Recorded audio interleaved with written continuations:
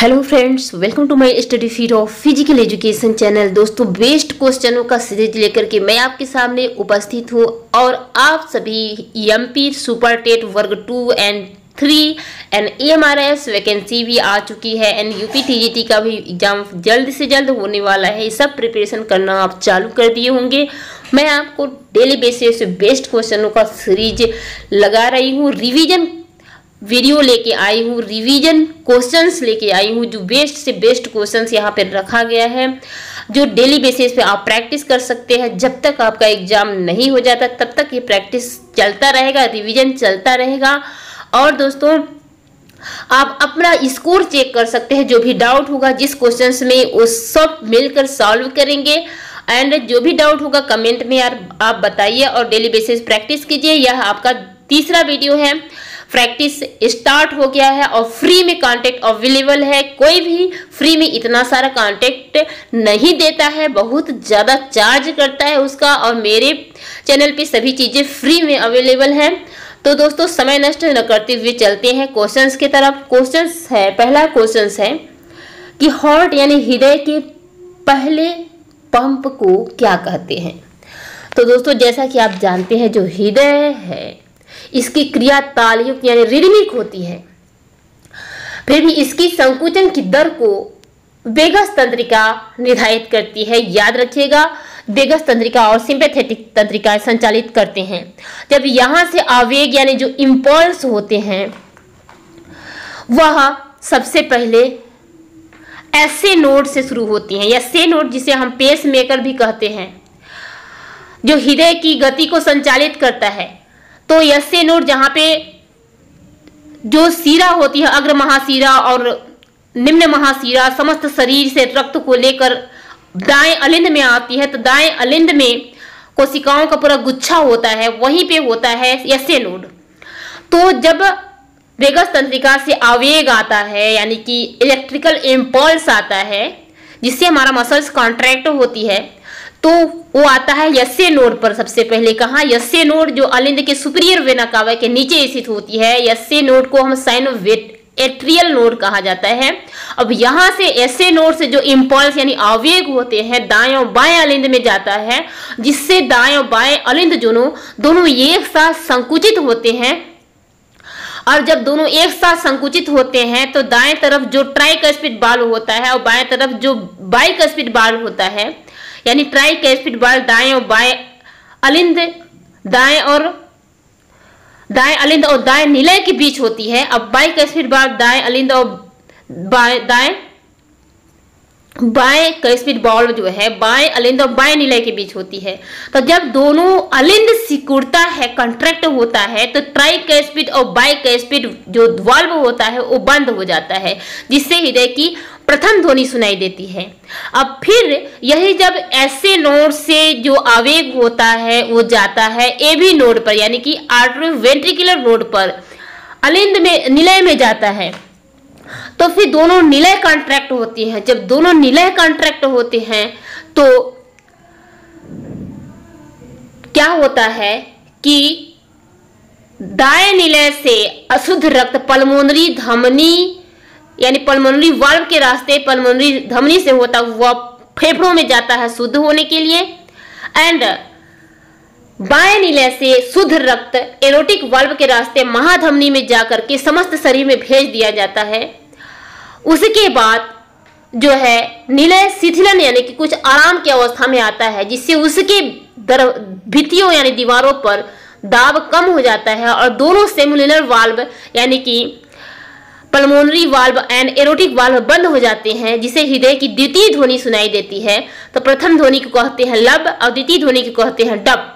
हृदय की ध्वनि लब, डब लब, डब एक रिदमिक होती है ताल युक्त होती है। तो जब दोनों जब दोनों अलिंद संकुचन होते हैं कॉन्ट्रैक्ट होते हैं तो tri tricuspid and bicuspid valve बंद हो जाता है। तो वहाँ पे प्रथम ध्वनि सुनाई देती है, जो ऐसे नोड पे सुनाई देती है। तो इसका सही आंसर होगा ऐसे नोड। तो जब दोनों अलिंद संकुचन होते हैं तो दोनों ट्राइक ट्राइकैस्पिड और बाइक बाइकैस्पिड वाल्व बंद हो जाते हैं तो प्रथम ध्वनि लब सुनाई देती है। जब दोनों निलय अनुशिथिलन यानी शिथिल अवस्था में होते हैं तो aortic valve and pulmonary valve बंद हो जाते हैं तो हृदय की दूसरी ध्वनि सुनाई देती है, जिसे कहते हैं डब। ठीक है? क्लियर हो गया होगा? और डाउट होगा तो मैं आगे क्लियर करूँगी। एंड नेक्स्ट क्वेश्चन है कि एक हाथ में कितने फ्लैंजियस यानी कि उंगलियाँ होती हैं? तो एक हाथ में चौदह उंगलियाँ होती हैं। याद रखिएगा एंड पैर के भी एक एक पैर में चौदह फ्लैंजियस यानी कि दोस्तों, उंगलियाँ की बात नहीं हो रही है। एक हाथ में जिस, जैसे कि पाँच उंगलियाँ होती हैं तो इसमें चौदह हड्डियाँ होती हैं। कितनी हड्डियाँ होती हैं? चौदह हड्डियाँ। नेक्स्ट है, जोरदार आघात के कारण। टेंडन के फाइबर टूट जाए तो उसे क्या कहते हैं? मैं कई बार बताई हूँ कि टेंडन की चोट या टेंडन मांसपेशी की चोट आए तो स्ट्रेन रहेगा, लिगामेंट ज्वाइंट की चोट आए तो स्प्रेन रहेगा। स्ट्रेन यानी कि खिंचाव। ठीक है? तो यहाँ पे स्ट्रेन राइट होगा। जब लिगामेंट एंड ज्वाइंट की चोट कहे, लिगामेंट के अधिक खिंच जाने के कारण तो वहाँ पे मोच यानी स्प्रेन होगा। नेक्स्ट, किस खेल में ए सी ई ए शब्द का प्रयोग किया जाता है दोस्तों? तो ब्रिज एंड टेनिस दोनों में किया जाता है। क, ख दोनों राइट होगा। नेक्स्ट क्वेश्चन है, खेलों की जननी मदर ऑफ़ स्पोर्ट्स किसे कहा जाता है? तो मदर ऑफ़ स्पोर्ट्स खेलों की जननी जिम्नास्टिक को कहा जाता है एंड क्यून ऑफ़ स्पोर्ट्स खेलों की रानी कहा जाता है एथलेटिक्स को। एंड नेक्स्ट क्वेश्चन है कि मैराथन क्या है दोस्तों? तो मैराथन यूनान के युद्ध के मैदान था प्राचीन ओलंपिक में। प्राचीन काल में उसी को मैराथन कहा जाता है। मैराथन नाम का एक जगह था। नेक्स्ट है एल आई पीई ग्वालियर का शिलान्यास किसने किया था? Lakshmibai college of physical education की स्थापना उन्नीस में हुआ था। तो इसका शिलान्यास उद्घाटन किए थे डॉक्टर सर्वपल्ली राधाकृष्णन द्वारा 16 अगस्त उन्नीस सौ सत्तावन को। एंड नेक्स्ट क्वेश्चन है कि वर्तमान 2021 में भारत के खेल मंत्री का क्या नाम है? तो दोस्तों 2021 में किरण रिजिजू थे, लेकिन वर्तमान में अनुराग ठाकुर है। याद रखिएगा, वर्तमान में खेल मंत्री कौन है भारत के? Anurag Thakur. And next question है दोस्तों कि साई का पश्चिम केंद्र कहाँ स्थित है? तो साई का पश्चिम केंद्र कहाँ स्थित है दोस्तों? तो साई के छह केंद्र है। कौन कौन से? छह केंद्र हैं। तो यहाँ पे पश्चिम केंद्र की बात करें तो गुजरात, गांधीनगर गुजरात हो जाएगा। गांधीनगर जो है वो गुजरात में है। तो इसके साई यानी कि स्पोर्ट अथॉरिटी ऑफ़ इंडिया, जिसकी स्थापना 25 जनवरी उन्नीस सौ चौरासी को हुआ था, एंड इसके साई की छह क्षेत्रीय केंद्र हैं, जिनके मुख्यालय हैं। जैसे कि दक्षिणी केंद्र का मुख्यालय बंगलौर है उन्नीस सौ चौहत्तर से एंड पूर्वी केंद्र कलकत्ता उन्नीस सौ बयासी से, उत्तरी केंद्र चंडीगढ़ केंद्रीय जो है दिल्ली, एंड पश्चिमी केंद्र गांधीनगर, गुजरात है, एंड उत्तर पूर्वी में इम्फाल है। इसके लिए मैंने ट्रिक बनाया है, चंगाई बंदी। चंगाई बंदी च से चंडीगढ़, उत्तरी केंद्र। गा से गांधीनगर, पश्चिमी केंद्र। ई से इम्फाल, उत्तर पूर्वी केंद्र। बंग से बंगलौर, दक्षिण केंद्र। दी से दिल्ली केंद्रीय केंद्र क से कलकत्ता पूर्वी केंद्र। एंड नेक्स्ट क्वेश्चन है कि बैक अटैक का संबंध किस खेल से है? तो बैक अटैक का संबंध खो खो से है। किससे है दोस्तों? खो खो से है। एंड दोस्तों नेक्स्ट है कि हमारे मस्तिष्क में रिले सेंटर का कार्य कौन करता है? तो दोस्तों, हमारा जो थैलेमस होता है, जो हमारे ठंडा गर्म का महसूस कराता है, जो थैलेमस होता है जो ठंडा गर्म को पता, ताप और दाब का पता लगाता है, हमको सिग्नल देता है तो यह रिले स्टेशन का काम करता है स्टेशन जहाँ पे जैसे कि हम ट्रेन पर चलते हैं बस पे चलते हैं, जाकर के कुछ दूर पे कोई स्टेशन आता है, उसी तरह जब हमारे सिग्नल्स जाते हैं, हमारे अंगों से सेंट्रल नर्वस सिस्टम के तरफ़, यानी कि ये मस्तिष्क की तरफ़ तो दाएँ तरफ़ की जैसे कि हमारा जो मस्तिष्क होता है उल्टा कार्य करता है। दाएँ तरफ़ की क्रियाएँ का संचालन बाएँ मस्तिष्क से और बाएँ अंगों की क्रियाएँ दाएँ मस्तिष्क से होता है। तो यहीं पे बदलता है। यहीं पे जब सिग्नल्स जाते हैं हमारे अंगों से सेंसरी ऑर्गन से तो थैलेमस के पास जा करके चेंज होते हैं। दाएँ अंगों से आने वाले सिग्नल्स जो होते हैं, वह बाएँ मस्तिष्क की तरफ़ ट्रांसफ़र होते हैं एंड बाएँ तरफ़ से आने वाले दाएँ मस्तिष्क ट्रांसफ़र यहीं पे रुक करके थैलेमस करता है। इसीलिए थैलेमस को हमारे मस्तिष्क रिले सेंटर कहा जाता है। दोस्तों क्वेश्चंस आएगा 100 परसेंट देख लीजिएगा यहीं से। नेक्स्ट क्वेश्चन है किस खेल में सबसे अधिक दुर्घटनाएँ होती हैं? तो दो, दोस्तों सबसे अधिक दुर्घटनाएँ होती हैं जूडो एंड बास्केटबॉल में। एंड नेक्स्ट क्वेश्चन है कि निन में से क्या विषम है? तो दोस्तों खो खो के ग्राउंड का जो लाइन होता है, उसकी मेज़रमेंट चार सेंटीमीटर होता है। हॉकी में साढ़े सात सेंटीमीटर यानी तीन इंच होता है। ट्रैक एंड फ़ील्ड की लाइन की मोटाई भी पाँच सेंटीमीटर होता है। तो यहाँ पे फुटबॉल का साढ़े बारह सेंटीमीटर यानी कि पाँच इंच होता है। तो यहाँ पे ए गलत है। तो यहाँ पे विषम कौन है? फुटबॉल एंड नेक्स्ट क्वेश्चन है कि निम्न में से क्या विषम है? F I G federation international gymnastic जो है विश्व जिम्नास्टिक संघ जिम्नास्टिक की संस्था है। F I B A federation international basketball association basketball से रिलेटेड है। F I V B federation international basket volleyball जो है वॉलीबॉल से रिलेटेड है। ए आई बी ए आपका बिलियर्स रिलेटेड नहीं है तो बिलियर्स आपका विषम है। नेक्स्ट दोस्तों, निम्न में से क्या विषम है? तो लेग में टिबिया हड्डी होती है, पैर में एंड फिंगर्स को फ्रेंजियस बोला जाता है एंड फेस में जाइगोमेटिक हड्डी होती है एंड हैंड में हैंड में आपका रेडियस अलना होता है ह्यूमरस हमारे ऊपरी बाह में होता है तो विषम आपका ये हो जाएगा ख। एंड नेक्स्ट क्वेश्चन है कि सुमेटो टाइप के स्केल में वन वन सेवन को इंगित किसको इंगित करता है? तो दोस्तों, मैंने सोमेटो टाइप के बारे में डिटेल में बताया हुआ है। सोमेटो टाइप को मिलियम सेल्डन ने, जो अमेरिका के चिकित्सक थे 1942 में सोमेटो टाइप स्केल पर व्यक्तित्व का वर्गीकरण तीन भागों में इन्होंने किया है। Endomorphic mesomorphic and ectomorphic endomorphic का स्केल है सेवन वन वन सात का मतलब है, सात से तात्पर्य है सबसे अधिक, एक से तात्पर्य है सबसे कम।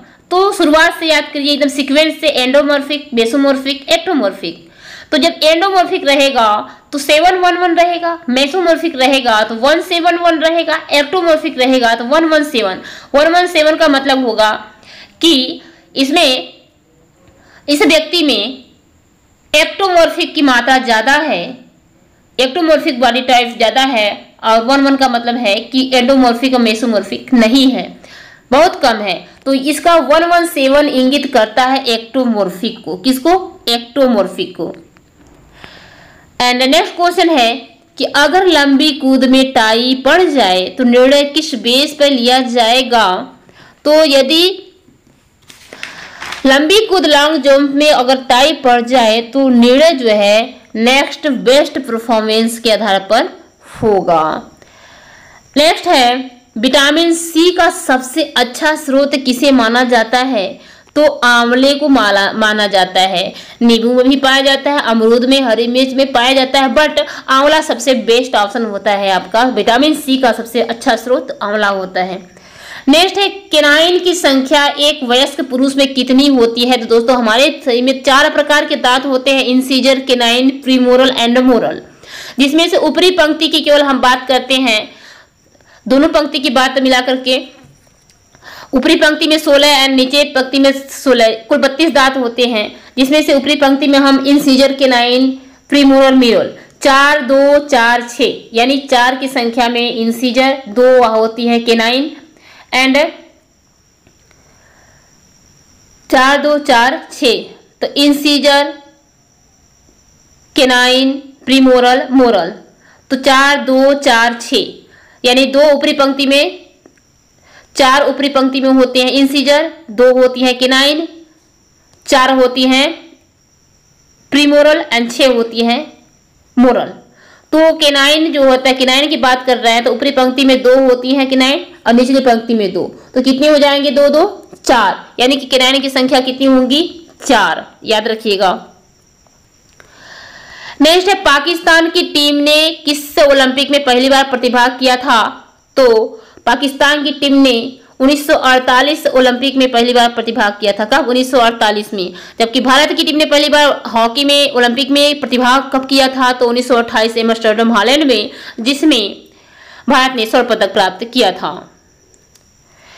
नेक्स्ट क्वेश्चन है सेमी मेम्ब्रेनियस कहाँ स्थित है? तो दोस्तों सेमी मेम्ब्रेनियस मसल्स जो है, वह हमारे जांग के पीछे स्थित होती है।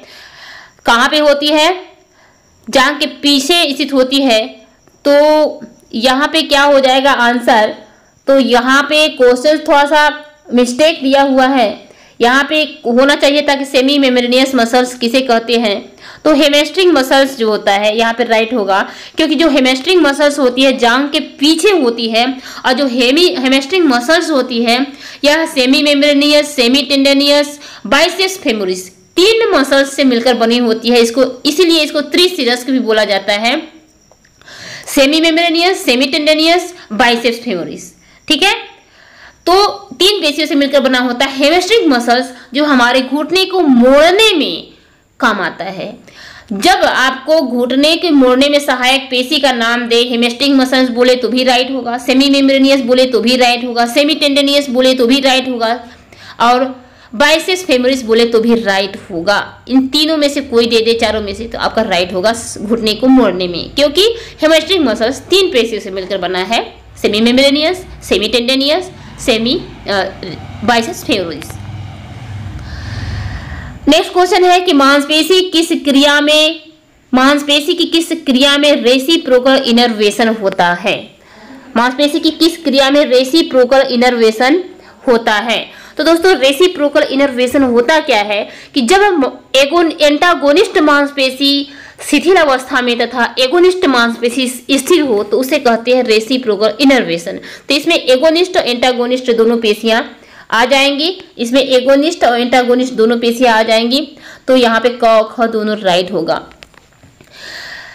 एगोनिस्ट जो होता है, जो हमारे मसल्स को कंट्रैक्ट करने में मुख्य भूमिका अदा करती है, उसे एगोनिस्ट कहते हैं। जो हमारे मसल्स को कंट्रैक्ट करने में विपरीत भूमिका अदा करती है, उसको एंटागोनिस्ट कहते हैं। जैसे मान लीजिए आप अपने हाथ को कॉन्ट्रैक्ट करते हैं। जैसे आप डंबल अभ्यास कर रहे हैं तो जब आप हाथ को कॉन्ट्रैक्ट किए तो उस समय कॉन्ट्रैक्ट करने में मुख्य भूमिका अदा कर रही है बाइसेप्स मसल्स तो बाइसेप्स मसल्स आपका एगोनिस्ट हो गया, उसके विपरीत काम कर रहा है ट्राइसेप्स मसल तो ट्राइसेप्स मसल्स आपका एंटागोनिस्ट हो गया। नेक्स्ट क्वेश्चन है कि उस मांसपेशी संकुचन को क्या कहते हैं, जिसमें मांसपेशी की लंबाई बढ़ती है तथा तनाव बना रहता है? तो जब भी मांसपेशी की लंबाई बढ़ने की बात आए, वहाँ पे होगी आइसोटोनिक कंट्रक्शन आइसोटोनिक एक्सरसाइज ठीक है? आइसोटोनिक यहाँ पे आपका राइट होगा। आइसोटोनिक राइट होगा, जैसे कि स्ट्रेंथ यानी शक्ति को डेवलप करने की तीन विधियाँ हैं आइसोटोनिक आइसोमेट्रिक आइसोकाइनेटिक इसके बारे में मैंने डिटेल में बताया हुआ है। आइसोटोनिक जो होता है इसकी खोज ली डोने ने उन्नीस में किया था। ऐसे पेशी की जो है, छोटा बड़ा होता है, इसमें कंसेंट्रिक इसेंट्रिक कंसेंट्रिक में पेशी छोटी होती है और इस सेंट्रिक में पेशी बड़ी होती है। और तनाव बना रहता है, गति प्रत्यक्ष दिखाई देती है। इसमें शक्ति प्राप्त करने की सर्वोत्तम विधि होती है, जैसे कलस्थेनिक व्यायाम, एक ही स्थान पर दौड़ना भार प्रशिक्षण डंबल अभ्यास, मेडिसिन बॉल थ्रो, ये सभी आते हैं आइसोट्रोनिक में। एंड आइसोमेट्रिक जो होता है, इसको खोज हेटिंगर और मुलर ने उन्नीस में किया था। इसमें आइसोमेट्रिक का अर्थ होता है आइसो मतलब सेम, मेट्रिक मतलब लंबाई, यानी सेम लंबाई। कोई चेंज नहीं होता है लंबाई में, सेम बना रहता है, तनाव बना रहता है, और लंबाई में कोई चेंज नहीं होता। एंड नो परिवर्तन, जैसे दीवार को धक्का मारना। एंड दोस्तों, आइस, तीसरा होता है आइसोकाइनेटिक, जिसकी खोज जेम्स पेराइन ने उन्नीस सौ अड़सठ में किया था। ये मशीनों की सहायता से किया जाता है। ये ज़्यादातर आइसोकाइनेटिक जो है, पानी वाले खेलों में किया जाता है, जैसे रोइंग, नाव खेना तैरना आदि, जैसे आदि। तो यहाँ पे याद रखिएगा तीनों चीज़ें। नेक्स्ट है कि हेल्थ रिलेटेड फ़िज़िकल फिटनेस में कितने कारक होते हैं। तो दोस्तों फ़िज़िकल फिटनेस को दो भागों में बांटा गया है। Health related physical fitness and motor skill related physical fitness तो हेल्थ रिलेटेड फ़िज़िकल फिटनेस में muscular strength muscular endurance cardio respiratory endurance flexibility and body composition आता है। यानी कि कितने कारक हुए? पाँच कारक हुए हेल्थ रिलेटेड फ़िज़िकल फिटनेस में। And motor skill related physical fitness में भी पाँच कारक हैं, जैसे strength speed endurance flexibility coordination इस सभी के बारे में मैंने डिटेल में वीडियो बनाया हुआ है दोस्तों। एक एक टॉपिक आप बहुत डिटेल में पढ़ सकते हैं। नेक्स्ट क्वेश्चन है कि पर हेनरिक लिंक का संबंध किस देश से रहा है? तो दोस्तों, पर हेनरिक लिंक का संबंध जो है वह स्वीडन से है। कहाँ से है? पर हेनरिक लिंग का संबंध स्वीडन से है। जैसे कि आप कहाँ से है इनका संबंध? स्वीडन से। पर हेनरिक लिंग का संबंध है। स्वीडन से पर हेनरिक लिंग जो है, स्वीडन में व्यायाम को क्रमबद्ध तरीके से आरंभ करने के प्रथम वाले, करने वाले प्रथम व्यक्ति थे। और दोस्तों पर हेनरिक लिंग लुंड विश्वविद्यालय में तलवारबाजी के प्रशिक्षक के रूप में आठ वर्षों तक कार्य किए। एंड इन्होंने जिम्नास्टिक को चार भागों में बांटा है। शैक्षिक जिम्नास्टिक सैनिक जिम्नास्टिक स्वास्थ्यवर्धक जिम्नास्टिक कलात्मक जिम्नास्टिक इन्होंने पुस्तक लिखी है जनरल प्रिंसिपल ऑफ़ जिम्नास्टिक और इनके बाद आते हैं स्वीडन में जालमर लिंग, जो फर हेनरिक लिंग के पुत्र थे। और इनके पुत्र ने प्रथम लिंगयार्ड महोत्सव मनाया। उन्नीस में स्टॉक होम में अपने पिता पर हेनरिक लिंग की वर्षगांठ मनाई, जिसमें जिम्नास्टिक व्यायाम की प्रदर्शनी हुई। और द्वितीय लिंगयार्ड हुआ उन्नीस सौ उनचास में भारतीय व्यायाम जिसमें कहाँ पे हुआ? उन्नीस में द्वितीय लिंगयार्ड स्टॉकहोम स्वीडन में हुआ। और भारतीय व्यायाम दल के रूप में हनुमान व्यायाम प्रसारक मंडल अमरावती महाराष्ट्र में ने शारीरिक गतिविधियों का सुंदर प्रदर्शन किया। वहाँ पे यहाँ पे याद रखिएगा, क्वेश्चन पूछा जाता है कि किस लिंगयार्ड में हनुमान व्यायाम प्रसारक मंडल ने अमरावती महाराष्ट्र ने सारी गतिविधियों का सुंदर प्रदर्शन किया था तो द्वितीय लिंगयार्ड उन्नीस में। नेक्स्ट है, फ्रेंच नेशगाल ने कौन सी पुस्तक लिखी? तो दोस्तों, फ्रेंच नेशगाल ने ये डेनमार्क के थे डेनमार्क में जिम्नास्टिक को अपना राष्ट्रीय एकता के रूप में प्रदर्शित किया। तो इन्होंने पुस्तक लिखा है। फ्रेंच नेस्कॉल जो है, ये आधुनिक सारे शिक्षा की नींव डाली इन्होंने। डेनमार्क में पहली बार प्रथम व्यक्ति थे जिन्होंने आधुनिक सारे शिक्षा की नींव डाली। कहाँ के थे? डेनमार्क के। इन्होंने पुस्तक लिखी है मैनुअल ऑफ़ जिम्नास्टिक। ठीक है? इन्होंने कौन सी पुस्तक लिखी है? Manual gymnastic. नेक्स्ट क्वेश्चन है कि 1936 बर्लिन ओलंपिक में मसाल दौड़ शुरू करने का श्रेय किसे जाता है? तो कार्ल डाइम को जाता है। किसको जाता है? कार्ल डाइम को जाता है।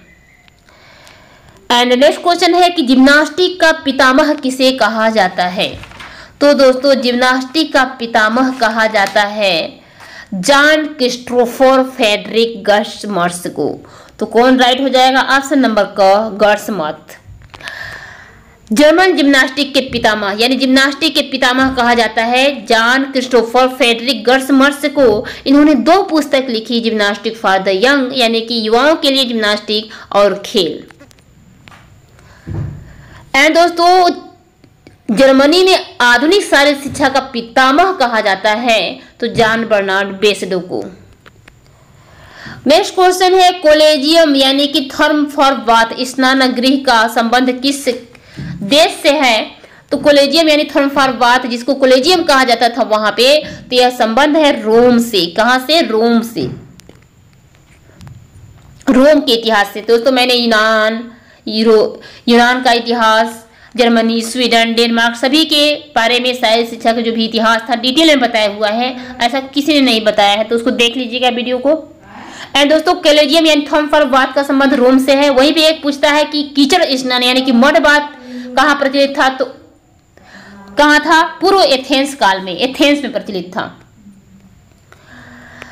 नेक्स्ट क्वेश्चन है नीमियन खेलों में किसकी पूजा की जाती थी? तो दोस्तों, पूर्व एथेंस काल में पन हैलिक अखिल एवं खेल का समारोह होता था, जिसमें Olympic Olympic, Pythian Isthmian Nemean चार गेम होता था। ओलंपिक खेल जो है, वह इसका आयोजन ओलंपिक का जीएस देवता यानी आकाश देवता की श्रद्धांजलि के लिए होता था। फिथियन खेल ओलंपिक अपोलो देवता यानी सूर्य देवता की श्रद्धांजलि के लिए होता था। स्थिमियन खेल समुद्र देवता यानी पोसिडियन के सम्मान के लिए होता था। और निमियन खेल जीएस देवता। तो ओलंपिक और निमियन दोनों जीएस देवता के सम्मान में होता था तो यहाँ पे जीएस आपका राइट हो जाएगा। और कहाँ पे होता था? ओलंपिक खेल ओलंपस पर्वत के मैदान पर, पिथियन खेल डेल्फी पर्वत के मैदान पर, स्थिमियन खेल कोरिंथ नामक स्थान पर, निमियन खेल ऑर्गेलिज नामक स्थान पर होता था। नेक्स्ट क्वेश्चन है क्रिकेट में कितने अंपायर होते हैं? तो क्रिकेट में चार अंपायर होते हैं, दो मैदान में होते हैं, एक टीवी स्क्रीन पे होते हैं, एक रिज़र्व अंपायर होता है। नेक्स्ट दोस्तों वाईएमसीए चेन्नई के पहले डायरेक्टर निदेशक कौन थे? तो वाईएमसीए की स्थापना 1920 में एस सी बक ने किया था और इसके प्रथम निदेशक थे ए जी नोहरान नेक्स्ट है आईओसी का गठन, यानी इंटरनेशनल ओलंपिक कमेटी का गठन 23 जून अठारह सौ चौरानवे में बैरन पियरी कोबर्टिंग के द्वारा किया गया था, जिसके आधार पर प्रथम आधुनिक ओलंपिक खेल 6 अप्रैल अठारह में शुरू हुआ एथेंस के पैनाथोनिक स्टेडियम में। और आधुनिक ओलंपिक को शुरू करने का श्रेय है बैरन पियरडी कुबर्टिन को, आधुनिक ओलंपिक का पितामह भी कहे जाते हैं बैरन पियरडी कुबर्टिन नेक्स्ट है, भारत में स्काउट को शुरू करने का श्रेय किसको जाता है? तो भारत में स्काउट को शुरू करने का श्रेय जाता है पंडित मदन मोहन मालवीय जी को। दोस्तों, भारत में स्काउट एंड गाइड की शुरुआत 1950 में हुआ। एंड नेक्स्ट क्वेश्चन है कि विश्व में स्काउट एंड गाइड को शुरू करने का श्रेय किसे जाता है? तो विश्व में स्काउट एंड गाइड को शुरू करने का श्रेय जाता है रॉबर्ट बर्डेन पॉविल को। नेक्स्ट है कि एनएसएस एनएसएस। एनएसएस राष्ट्रीय सेवा योजना की शुरुआत किस महापुरुष के सौवें जन्मदिन के उपलक्ष्य में हुआ था? तो महात्मा गांधी। जैसे कि महात्मा गांधी का जन्म अठारह में हुआ था। And eighteen hundred sixty nine में हुआ था। तो एनएसएस की स्थापना कब हुआ था? उन्नीस सौ उनहत्तर में, नाइनटीन हंड्रेड नाइन्टी नाइन में। कब हुआ था? उन्नीस सौ उनहत्तर में, नाइनटीन हंड्रेड सिक्सटी नाइन में हुआ था एनएसएस की स्थापना। और 1869 में हुआ था महात्मा गांधी के जन्म। तो उनके सौवे जन्मदिन के उपलक्ष्य में एनएसएस यानी कि राष्ट्रीय सेवा योजना की स्थापना हुआ था, शुरुआत किया गया था। नेक्स्ट दोस्तों एनसीईआरटी की स्थापना कब हुई? तो दोस्तों एनसीईआरटी की स्थापना 1961 में हुआ। एनसीईआरटी का फुल फॉर्म होता है national council of educational research and training. इसको हिंदी में कहेंगे राष्ट्रीय शैक्षिक अनुसंधान और प्रशिक्षण परिषद। एंड नेक्स्ट क्वेश्चन है कि लखनऊ क्रिश्चियन कॉलेज की स्थापना किसके निरीक्षण में किया गया? तो लखनऊ क्रिश्चियन कॉलेज की स्थापना किया गया E W Ted Mumbai Mumbai के ई डब्ल्यू टेड मुंबई के निर्देशन में। एंड नेक्स्ट क्वेश्चन है N C C national cadet cross corps के शुरू करने का श्रेय किसे जाता है? तो इसकी स्थापना 1948 में हुआ था। इसको शुरू करने का श्रेय जाता है पंडित हृदयनाथ कुंजरू को एंड नेक्स्ट क्वेश्चन है कि अमेरिका का राष्ट्रीय खेल क्या है? तो बेसबॉल है। एंड नेक्स्ट क्वेश्चन है कि मांसपेशियों की ताकत यानी स्ट्रेंथ को मेजर करने किससे किया जाता है? तो डायनमोमीटर से किया जाता है। किससे? डायनमोमीटर से। यहाँ पे स्किन फुल कैलिपर से त्वचा वसा का मापन किया जाता है। स्फिग्नोमैनोमीटर से ब्लड प्रेशर को मापा जाता है। स्पायरोमीटर से फेफड़ों की श्वसन क्षमता मापा जाता है। नेक्स्ट, लॉ ऑफ़ मोमेंटम, यानी संवेग का नियम, न्यूटन के किस नियम को कहा जाता है? तो न्यूटन ने तीन नियम दिए हैं। जड़त्व का नियम, संवेग का नियम और क्रिया, प्रतिक्रिया का नियम। तो संवेग का नियम न्यूटन के द्वितीय नियम है। नेक्स्ट दोस्तों, चक्रासन से शरीर की कौन सी मांसपेशी संकुचित होती है? तो चक्रासन से शरीर के बैक मसल्स जो है, वह कॉन्ट्रैक्ट होती है। नेक्स्ट है, फीना में यन से क्या तात्पर्य है? तो फेडरेशन इंटरनेशनल एसोसिएशन तो नेशनल नहीं है दोस्तों, याद रखिएगा, यहाँ पे नेशन होगा, ठीक है? ऑप्शन नंबर कर राइट होगा? यहाँ पे फीना में यन से तात्पर्य है। यह आपका किसे? तैराकी से रिलेटेड है, विश्व संस्था, नेशन होगा, ठीक है? नेक्स्ट है वसा द्वारा ग्लाइकोजन का निर्माण करना क्या कहलाता है? तो वसा द्वारा ग्लाइकोजन का निर्माण करना क्या कहलाता है? तो वसा का द्वारा ग्लाइकोजन का निर्माण करना कहलाता है क्या कहलाता है? यहाँ पे राइट आंसर हो जाएगा घ। ग्लूकोनियोजेनेसिस। क्या हो जाएगा? ग्लूकोनियोजेनेसिस। जैसे कि इसके पिछले वीडियो में, यानी कि इसके सेकेंड पार्ट में थर्ड पार्ट है, मैंने बताया है कि ग्लाइकोजन से ग्लूकोज का बनना। जब ग्लाइकोजन से ग्लूकोज का बनना ग्लाइकोजेनेसिस कहा जाता है। उसी प्रकार वसा तथा प्रोटीन से ग्लूकोज का बनना कहा जाता है। ग्लूकोनियोजेनेसिस, याद रखिएगा, जब ग्लाइकोजन से ग्लूकोज का बनना पूछेगा तो ग्लाइकोजेनेसिस होगा। जब वसा तथा प्रोटीन से ग्लूकोज का बनना पूछेगा तो ग्लूकोनियोजेनेसिस होगा। ठीक है? एंड नेक्स्ट क्वेश्चन है, प्रयास या त्रुटि का सिद्धांत, यानी ट्रायल एंड इडर सिद्धांत किसने दिया था? तो थानडाइक ने दिया था, आप सबको पता है। एंड दोस्तों नेक्स्ट है कैल्शियम का मेटाबॉलिज्म यानी चय अपचय कौन सी ग्रंथि करती है? तो यह करती है पैराथायराइड ग्लैंड। यह हमारे अस्थियों दांतों के लिए मोस्ट इंपॉर्टेंट होता है कैल्शियम। इसका चय अपचय करने का काम करता है पैराथायराइड ग्लैंड। नेक्स्ट है, भारतीय फुटबॉल टीम ने किस ओलंपिक में चौथे स्थान पर, अपना चौथा स्थान बनाया? तो 1956 मेलबोर्न ओलंपिक में।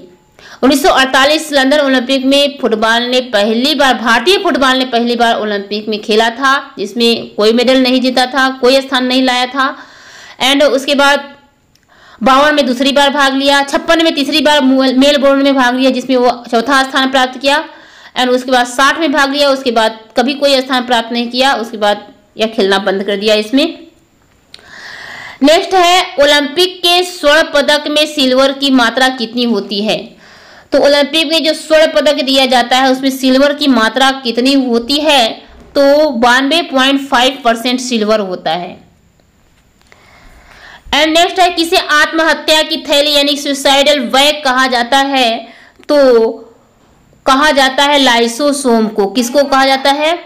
लाइसोसोम को आत्महत्या की थैली या सुसाइडल बैग कहा जाता है एंड डाइजेस्टिव बैग भी कहा जाता है, और एटम बम भी कहा जाता है लाइसोसोम को।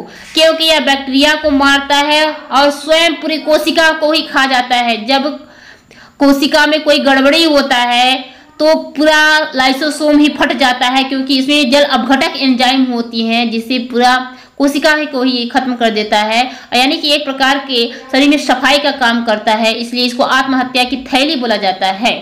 तो दोस्तों, ये था आज की वीडियो में 50 एमसीक्यू आई होप कि सभी क्वेश्चंस आपको अच्छे से समझ में आया होगा, क्योंकि मैंने हर एक क्वेश्चंस को पूरी डिटेल में एक्सप्लेन करते हुए बताया है। जितना ज़रूरत है, वहाँ उतना एक्सप्लेन किया गया है। तो दोस्तों, कहीं भी कोई भी डाउट होगा, किसी क्वेश्चन में तो आप मुझे कमेंट में बताइए। उसको मिल करके सॉल्व किया जाएगा। एंड दोस्तों, इसी प्रकार आप डेली बेसिस पे प्रैक्टिस कीजिए मेरे साथ पूरे एक्सप्लेनेशन के साथ। तो आई होप कि सभी क्वेश्चंस आपको समझ में आए होंगे। इस प्रकार आप डेली बेसिस पे विज़िट कीजिए। फ़र्स्ट बार विज़िट कर रहे हैं तो चैनल को सब्सक्राइब कर लीजिए। बेल आइकन को प्रेस कर लीजिए, जिससे न्यू वीडियो का अपडेट आप तक पहुँचता रहेगा। तो मिलते हैं नेक्स्ट वीडियो में। तब तक के लिए जय।